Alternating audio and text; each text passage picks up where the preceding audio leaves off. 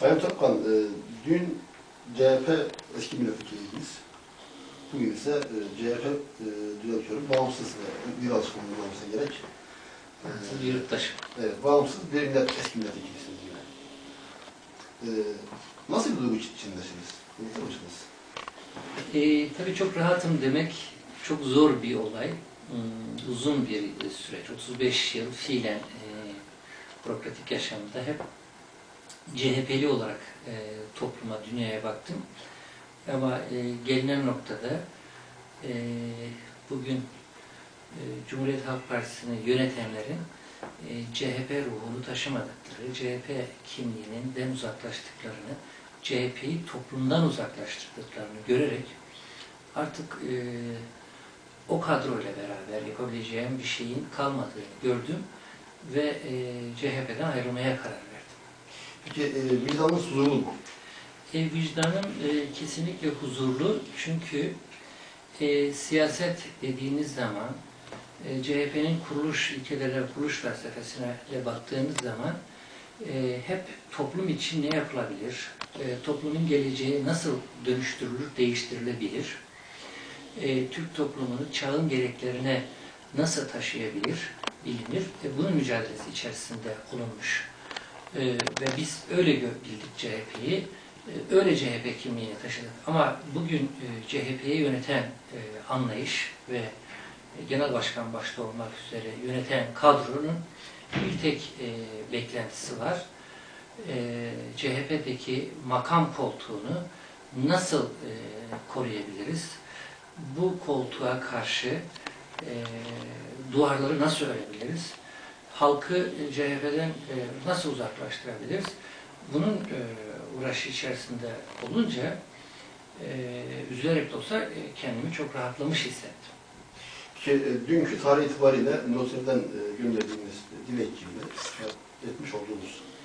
Lakin acaba kendi aklınızda, beyninizde CHP'den istifa etme kıvılcımları hangi tarihte acaba oluştu? CHP içerisinde uzun süre e, CHP'deki anlayışı değiştirmek, CHP'yi demokratikleştirmek, CHP'yi çağın ve Türkiye'nin e, partisi yapmak, e, Türkiye'de ve dünyada değişen ve dönüşen gelişmeleri takip eden, e, önüne iktidar projesi koyan bir parti e, yapmak için e, parti içerisinde e, seçildiğim 1995 tarihinden başlayarak özellikle 1996 Haziran'da yapılan küçük kurultayda e, rahmetli Aydın Güven Gürkan, Ercan Karakaş, Seyfi Oktay, Şahin Ulusoy, e, Sivas Milletvekili Mahmut Işık ve ben daha fazla gecikmemeliyiz diye e, bir e, kitapçık hazırlayıp o günkü e, sorunları veya Cumhuriyet Halk Partisi'ni nasıl iktidara taşıyabiliriz, nasıl değiştirip dönüştürebiliriz, nasıl kendisini yenileyebiliriz diye bir çalışma yapmıştık. Bu çalışmayı da o günkü kurultay delegelerine dağıtmıştık. E, o günden başlayarak e, Cumhuriyet Halk Partisi'nin yeniden yapılandırma mücadelesi içerisinde olmuş idim.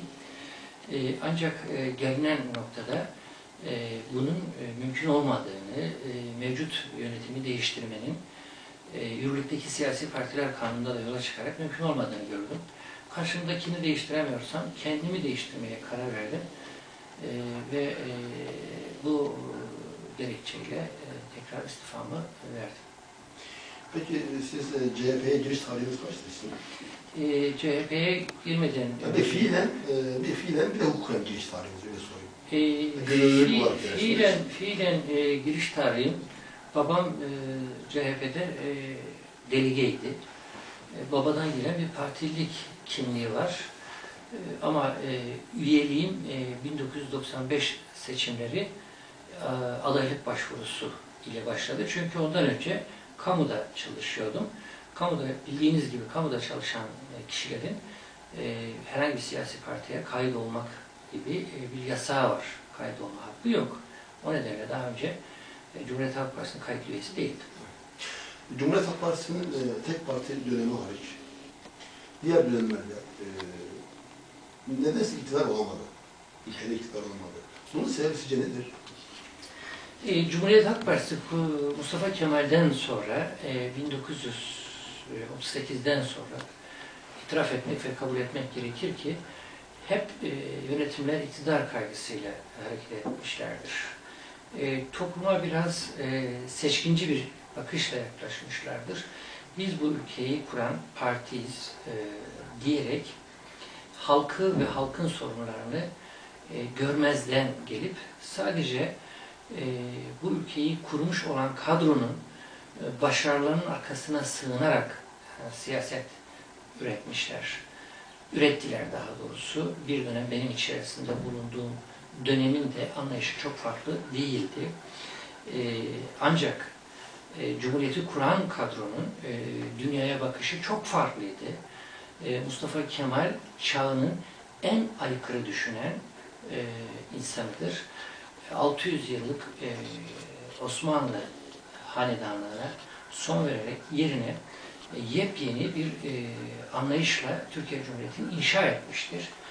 İnşa ettiği dönemde en yenilikçi, en çağdaş, en uygar, dünyadaki değişim ve dönüşümleri en yakından takip eden bir anlayışla Cumhuriyet Halk Partisi kurulmuş olmasına rağmen daha sonra gelen kadrolar e, Mustafa Kemal'in bu ruhunu taşıma yerine Mustafa Kemal'in başarılarıyla yetin- yetinmişlerdir.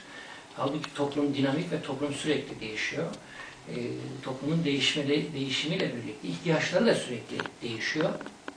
Cumhuriyet Halk Partisi'nin sonraki yöneticileri bu değişim ve dönüşümü e, yakından takip ederek parti bünyesine taşıyamadıkları için e, zaman içerisinde parti halktan e, kopmuştur. Bu kopuş e, Cumhuriyet Halk Partisi'nin başarısızlığını da beraber getirmiştir. Peki e, Osmanlı İmparatorluğu'nu söz ederken tarihinde genellikle yükselme, duraklama ve gerileme devri olarak üç, üç devre, üç dönem ayrılır. E, aynı e, ayrılmadan esinlenerek bunu CHP için de düşünecek olursak, e, bunları tarih veya liderlere göre sıralama bulabilir misiniz? Tabii e, liderlik dediğiniz zaman Türkiye'nin e, çok partili döneminde e, bir tek lideri vardı. Mustafa Kemal Atatürk liderdir. Lider dediğimiz zaman tanımlamayı şöyle yapmanız gerekiyor. En az 10 yıl öncesi sonrasını görebilen, 10 yıl içerisinde, en az 10 yıl içerisinde dünyada değişecek ve dönüşecek. Gerek kendi bölgesinde gerek dünyanın genelinde, genelinde değişim ve dönüşümü görebilen, ona göre önlem ve tedbirini alan, e, ülkesini e, o değişecek ve dönüşecek gelişmelere göre mm, e, tedbirlerini alan kişi demektir. E, Mustafa Kemal'de bunun e, bütün e, verilerini bulmak mümkündür. Örneğin 1926 yılında bir İngiliz gazetecisine e, vermiş olduğu bir mülakatta şöyle der Mustafa Kemal. 1939 yılında İkinci Dünya Savaşı çıkacak. İkinci Dünya Savaşı'nı Almanlar başlatacak. Ancak İkinci Dünya Savaşı Almanların yenilgisiyle bitecek. E, yalnız çok insan ölecek. E, insanlık tarihi bunu bugün de görmeli, gerekli önlem ve tedbirini almalı demiştir. Nitekim İkinci Dünya Savaşı 1939 yılında çıkmıştır. E, 1945 yılına kadar sürerken işte 200 milyon üzerinde insan ölmüş. E, bir biçimiyle dünya büyük bir felaketle, büyük bir e, yoksulluk yaşamıştır. İnsanlar çok büyük acı çekmiştir. Üzülerek belirtmek gerekir ki Mustafa Kemal'den sonra gelen İsmet Paşa başta olmak üzere e, devlet adamı kimliğini e, aşarak lider kimliğine kavuşamamışlardır. Şu anda e, Türkiye'de lider değil, parti genel başkanları vardır. E, genel başkanlar sadece parti e, bir biçimiyle e, her türlü e, yolu mübah sayarak iktidarda olmanın yollarını e, ararlar. E, büyük projeler, büyük dönüşümler e, onların gündeminde e, yoktur. O nedenle Türkiye e, sürekli sorunlar yaşayan, e, iç ve dış sorunlar yaşayan, iç ve dış sorunları çözmede sıkıntıları olan bir ülkedir. Bugün de e, bu sıkıntıların benzerlerini çok derinleşmiş olarak e, yaşamaktayız. Peki e, istifa sebebinizin e, ileride yapılacak olan önümüzdeki seçimlerde adaylığa bir başlangıç ol, olacağı düşünülüyor. Bağımsız aday olarak atılacağını düşünülüyor. Bu doğru mu sizce bu yaklaşım? E, şimdi ben siyaseti çok seviyorum. Çünkü halka hizmet etmeyi çok seviyorum. E, halka e, daha güçlü hizmet ancak e, siyaseten seçilmiş olmakla mümkün olduğunu e, biliyorum. E, bu nedenle e, halkın e, vereceği, bu doğrultuda vereceği bir karara e, hayır demem. E, Adıyaman'da e, 18 Mart, e, 18 Nisan tarihleri arasında bulundum. E, uzun bir gezi sürecim oldu. Besne Gölbaşı, Tut'ta merkezde bütün esnafı ve köylerini gezdim. Adıyaman merkezde büyük oranda e, yerel basınla e, ve halkın büyük kısmıyla e, temaslarım oldu. Adıyaman'ın batı tarafındaki köylerin büyük kısmını gezdim. Çelikan'da geniş temaslarım oldu. Kahta'da geniş temaslarım oldu. E, benim yeniden siyasete e, dönmem ve siyasette aday olmam konusunda e, karşılıklı olarak kendileriyle e, tartıştık, görüştük. E, onlardan da büyük e, siyasete yeniden dönmem konusunda talep var. Bu talebi halkla birlikte e, Haziran ayında e, yeniden geleceğim, değerlendireceğiz. Ama büyük bir olasılıkla aday olacağım. Evet. O zaman şu an tarih itibariyle herhangi bir kesin kararınız yok. Yani var diyebiliriz e, ancak bu kararı halkla birlikte vereceğim için, halka öyle bir söz verdiğim için e, kendim bu kararı şu an için açıklamıyorum. E, bu kararı halk açıklayacak. Halkla birlikte öyle konuştuk. Halk da kesin kararlı, ben de kesin kararlıyım. Ama halka vermiş olduğum söz gereği onlarla birlikte adaylık sürecini başlatacağız. Peki diğer siyasi e, partilerden herhangi birine katılma gibi bir düşünceniz var mı? Şu an için mevcut partilerden herhangi birine katılmayı düşünmüyorum. Ama e, ileride e, siyaset Türkiye için e, çok değişkenliği olan e, bir e, yaşam biçimidir. İleride Türkiye'ye hizmet edebilecek, iktidar olma e, fırsatı olabilecek e, bir yeni parti, yeni oluşum, e, halkı kucaklayan, halkın, sorunlarına ilgi duyan yeni bir gelişme olursa ancak öyle düşünebilirim. Ama mevcut e, partilerin herhangi bir tanesinde aday olmayı düşünmüyorum. Peki e, diyelim seçimler az bir tarih kaldı, az zaman kaldı ve o arada CHP yönetimi karar verdi. Adıyaman'dan veya başka bir bölgeden, uygun görecek bölgeden, sizin uygun göreceğiniz bir bölgeden Celal Topkan'ın birinci sıra milletvekili aday olarak gösterilmesinde ülke için, parti için ve kendisi için fayda var diye mülahazada bulunuldu, bir şeyde bulunuldu. Böyle bir teklif geldi. O zaman tekrar partiye dönmek istiyor musunuz? E, Yani tutarlılık ve Tutmaz oldu il- yani. tutarlılık ve ilkellik yaşamda kendime e, her zaman rehber edildiğim iki kavramdır. Ben CHP'den istifa ettim. E, CHP'de benzer bir e, beklentiyle, beklentinin içerisinde olsaydı genel merkez zaten bana çok e, her ne kadar ben genel merkezde çok e, sürtüşmeli, çok çekişmeli bir e, ilişkim olmasına rağmen zaman zaman bana e, kabına sığsa da e, gelse, yanında bir milletvekili daha getirir diye teklifler ve öneriler her zaman gelmiştir. Ama ben siyaseti e, bir daha milletvekili olayım, e, kendime bir takım e, çıkar sağlayayım, fayda sağlayayım amacıyla yapmadım. E, önemli olan bir milletvekili olmak, yeniden bir milletvekili olmak değil. Önemli olan o milletvekilliğin sürecinde topluma nasıl yarar olabilirim?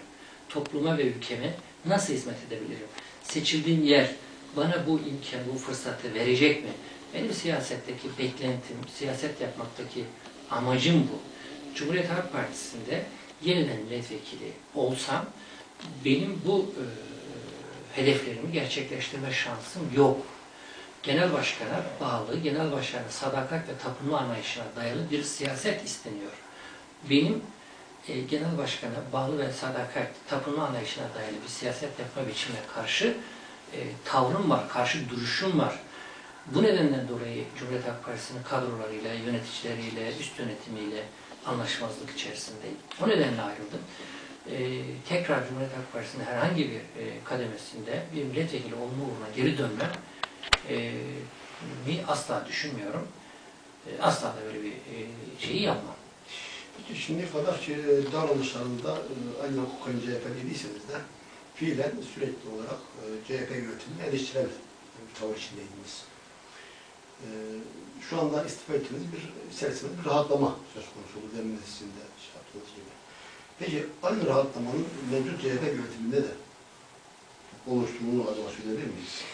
E, mümkündür söyleyebiliriz çünkü e, mevcut CHP yönetimi e, küçük olsun, e, bizim olsun anlayışıyla partiyi yönetiyorlar. Kendileri gibi düşünmeyen ama e, halk tarafından, istenen halk tarafından sevilen insanları zaten e, partiden uzaklaştırma gibi bir anlayışın içindeler yıllardan beri siyaseti. Bu anlayışla yapıyorlar. Nitekim e, geriye doğru baktığımızda toplumla bütünleşmiş, halkla bütünleşmiş, bilgi birikimi, liyakat ve yetenekleri açısından e, çok nitelikli kadrolar e, CHP'den uzaklaştırılmıştır.